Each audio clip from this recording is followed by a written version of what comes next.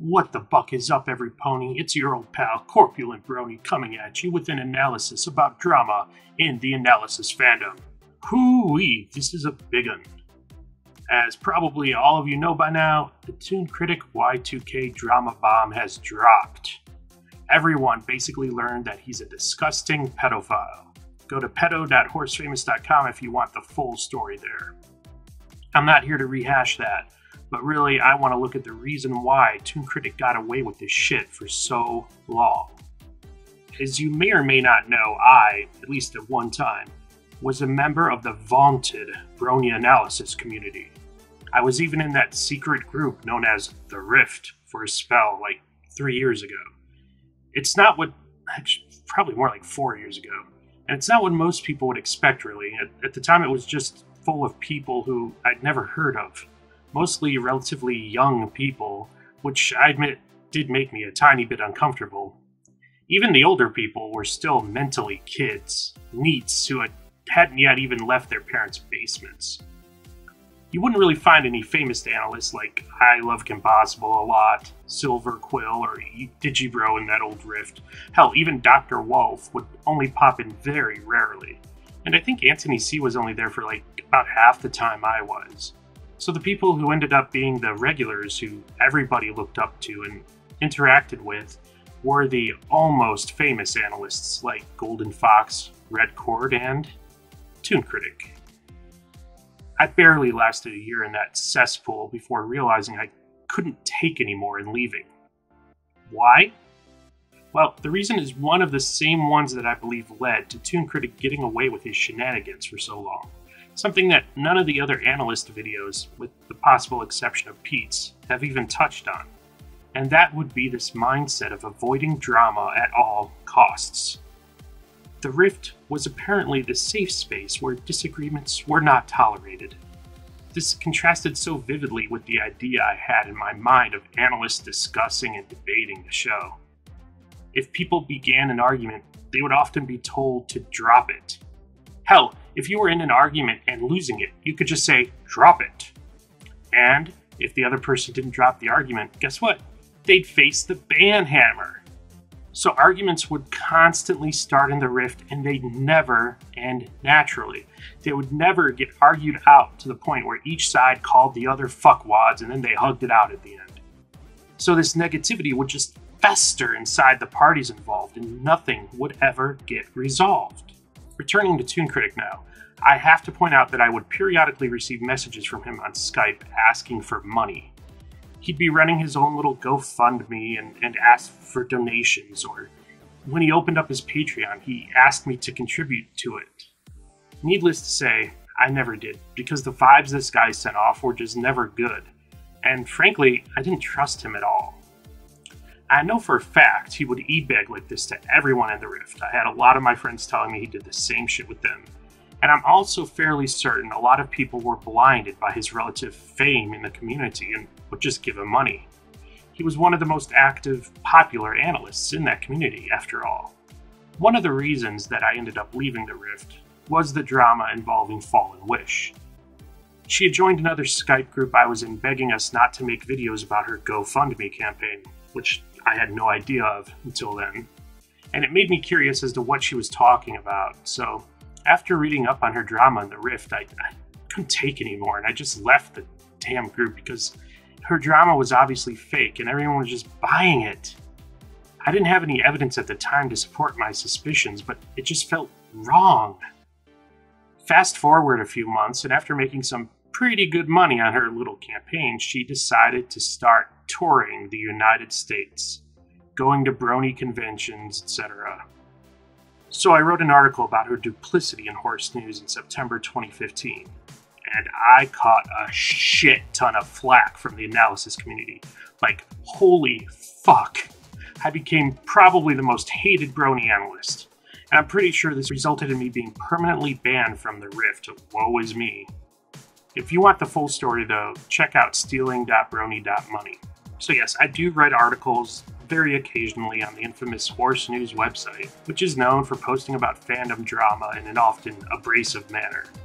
But my article on Fallen Wish, really my first long form expose there, About a year later, this was vindicated when Fallen Wish returned to her supposedly super abusive home situation once her money ran out.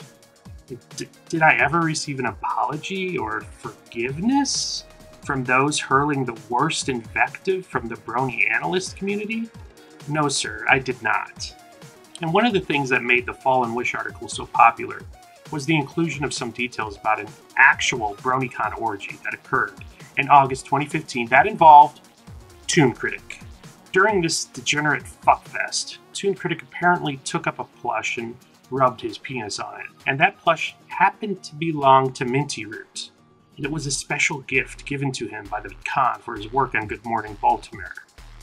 If you want to read more about this story, uh, Minty Root wrote up the details in a post that you can get at defiling.plushie.horse.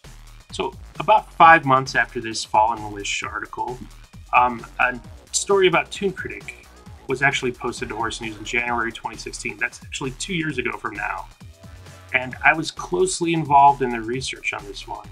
I didn't end up reading it because of, I was still a little trigger shy from that first Fallen Wish article. But this article explained how Toon Critic had actually stolen money from Fallen Wish that she had built out of her analysis community supporters. The article actually put a lot of pressure on Toon Critic, and he ended up repaying Fallen Wish so you can learn more about it if you want to by going to stealing.more.brony.money.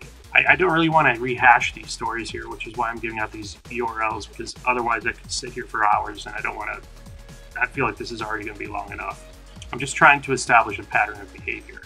In April of 2017, I wrote an article detailing a series of events that occurred at BabsCon that began with the theft of Toon Critic's hat in retaliation for his defilement of Minty Root's plush, and ended with Toon Critic making up tales about the hat thieves that would be believed by con staff and would lead to the hat thieves being banned from the con for things they did not do, specifically for sexually assaulting guests. Again, eventually, the article's take on events was proving right. BabsCon rescinded the bans and even instituted a ban on Toon Critic for being a community guest for a year. I never made up a cutesy domain name for this article, so just search for Horse News, Toon Critic, Hat, Toilet, or something. So far, we have an established pattern of some very public behavior that I was aware of.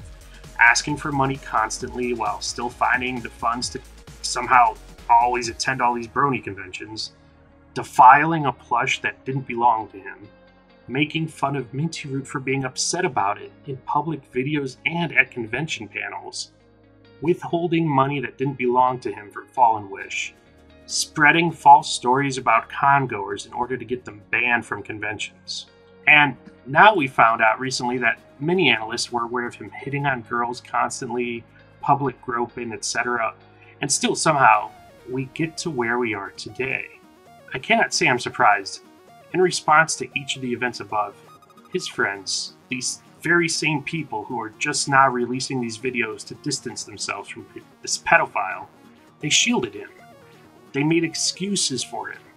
And if anyone spoke up and caused drama, I'm fairly certain those people would be dealt with swiftly by banning from their communities. And many who may not have had the clout of this middle upper echelon of horse reviewers probably didn't even feel comfortable saying anything about it. Again, for fear of being seen as trying to start drama. I mean, hell, even Mad Munchkin's video about this, about the whole Toon Critic thing, she said that she no longer wants to talk about it and will remain silent on the Toon Critic situation after that video. It's just a continued drama avoidance. It's, it's really unhealthy for the community and for the individuals thus affected and it only leads to more of this kind of behavior. I mean, we, we know that the video that was released, where Toon Critic basically admitted to this, this video was released only because it was leaked. It did not come out because the people who recorded it wanted it to come out. They did not want it to come out because they were more concerned with their own personal little careers on YouTube, and very thick finger quotes careers they didn't want this thing released. They didn't want the truth to get out there about what a fucking scumbag he was. So they were still shielding him.